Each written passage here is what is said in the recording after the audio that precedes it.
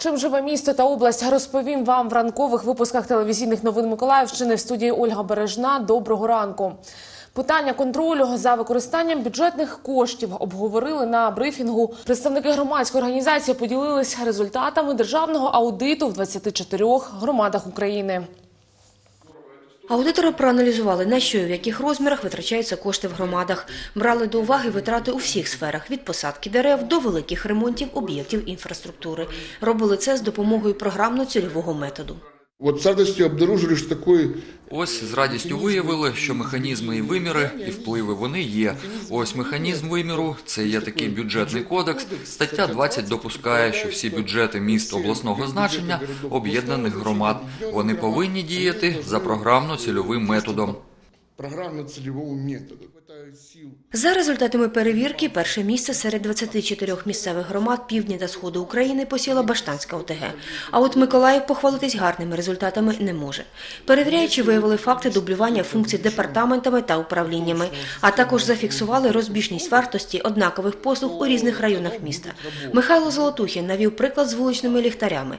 Вартість встановлення одного в Інгульському районі та загалом по місту, а це витрати департаменту житлово-комунального господарства, відрізняється в десятки разів. Всі ці дані вказані в цільових програмах.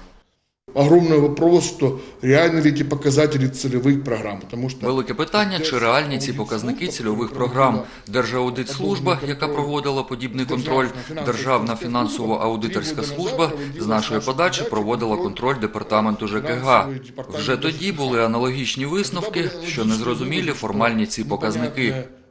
формальные эти показатели Аудитори рекомендували керівникам громад, де знайшли такі порушення, зокрема і Миколаївському міському голові, створити робочу групу з питань демократичності, прозорості та ефективності використання бюджету. Вона й контролюватиме, на що витрачаються кошти громади. Олена Міщенко, Артем Білібов, телевізійні новини Миколаївщини. У Миколаївському музеї суднобудування та флоту нагородили переможців всеукраїнського фотоконкурсу Вітрила України. Там вже відкрилась одноіменна виставка світлин. Участь в конкурсі брали фотографи-аматори з Миколаєва, Одеси, Дніпра та Києва. Серед переможців другий рік поспіль Дмитро Удовицький. Чоловік каже, фотоапарат завжди з ним, адже світлини – це захоплення. А працює він за фахом – інженером. Розумієте, для фотографа важливо там ці конкурси, перемоги.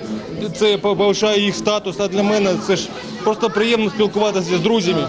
Я люблю те, що я фотографую. Мені по- це дуже дуже подобається. Може, тому такі світлини виходять, і що людям подобається теж. В Миколаєві відомі також світлини Дмитра на військову тематику. Чоловік каже, це важливо для нього. Звичайно, як, як, як почалася війна, це ж був наш обов'язок армії допомагати.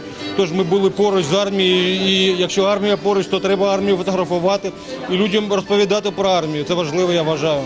На відкриття фотовиставки прийшов 13-річний Михайло. Хлопчик займається вітрильним спортом, та саме він став героєм однієї з фотокарток.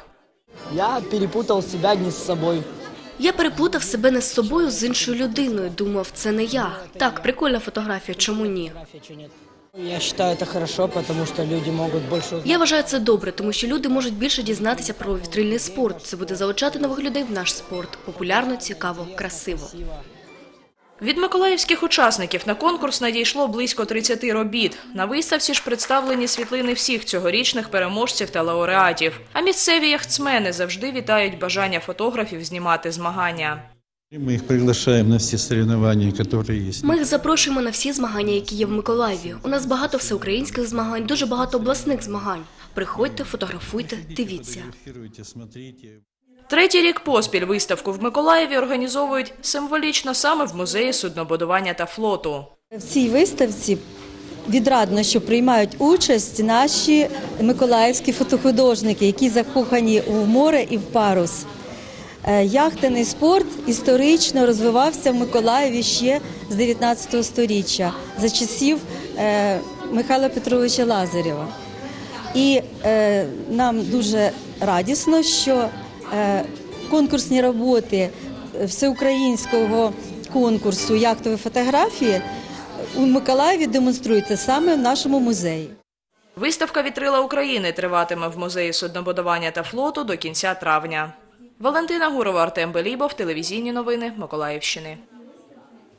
Наразі це все. Зустрінемось з вами вже о восьмій. Залишайтесь разом з новим днем та на телеканалі Миколаїв.